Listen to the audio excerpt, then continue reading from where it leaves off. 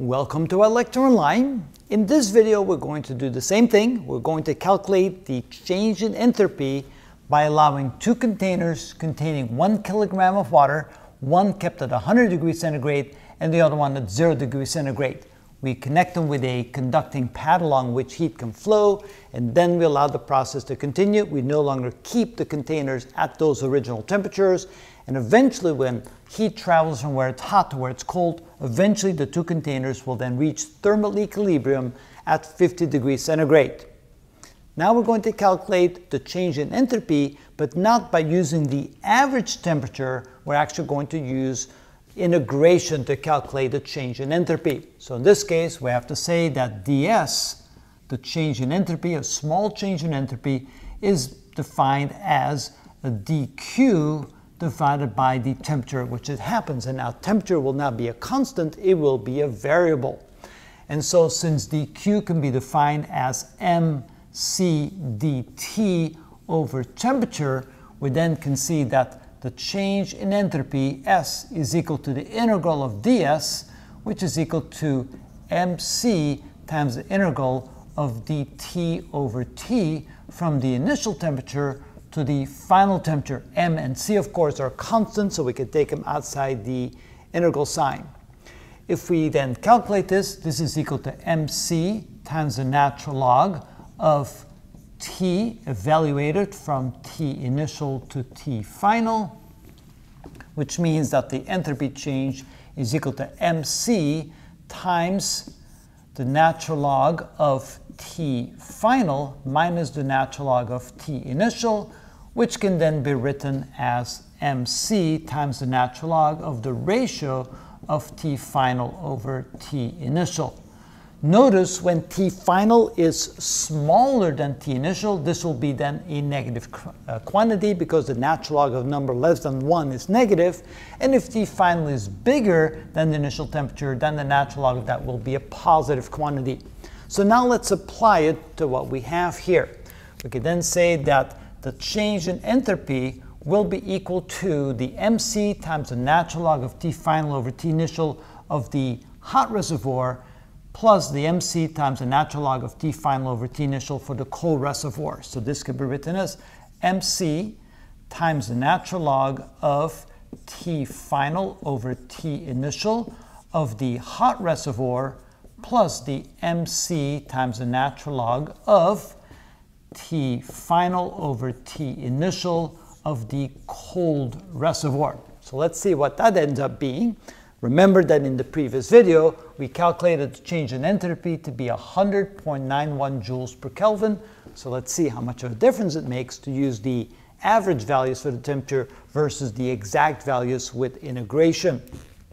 So this is equal to 1 kilogram times C, which is 4,186 joules per kilogram times Kelvin. So notice that we get joules per Kelvin again, and then we multiply times the natural log of T final, the final temperature for the hot reservoir is 348, and the initial temperature started at 373, which is 100 degrees Celsius. And then we add to that plus 1 kilogram times 4186 joules per kilogram per Kelvin times the natural log of the final temperature would be 348 Kelvin and the initial temperature started, oh no, it's not going to be 348. The final temperature is going to be 50 more than 273, which is 323 divided by 273.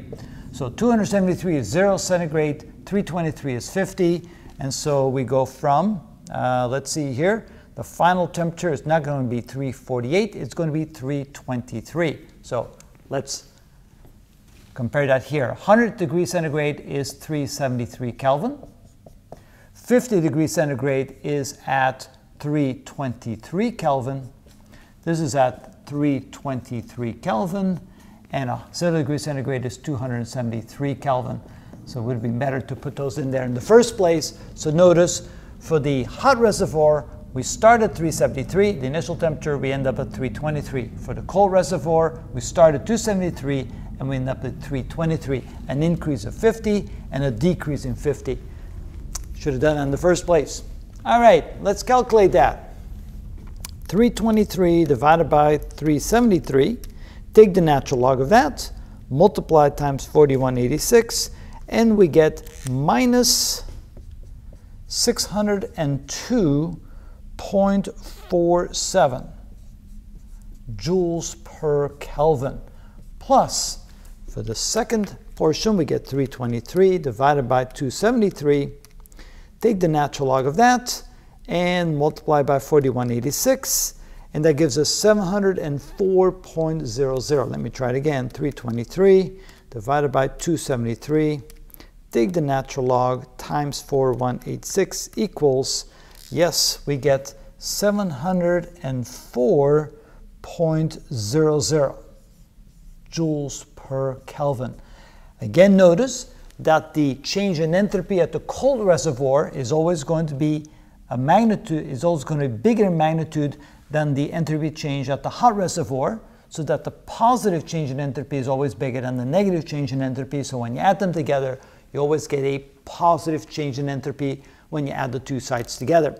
So let's go ahead and take 704, subtract from that 602.47, and that means that the change in entropy is equal to 101.53 joules per Kelvin.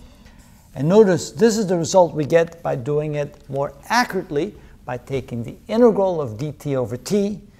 And if we compare that to what we get when we take the average value, you can see that the difference is actually quite minor. But this would be the more exact way to calculate it. This is a quick, faster way to uh, calculate it by just simply taking the average temperature. Either way, you get roughly the same result.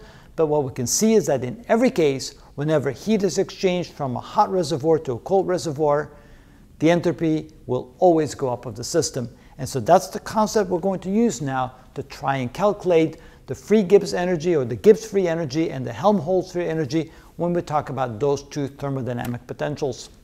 And that's how it's done.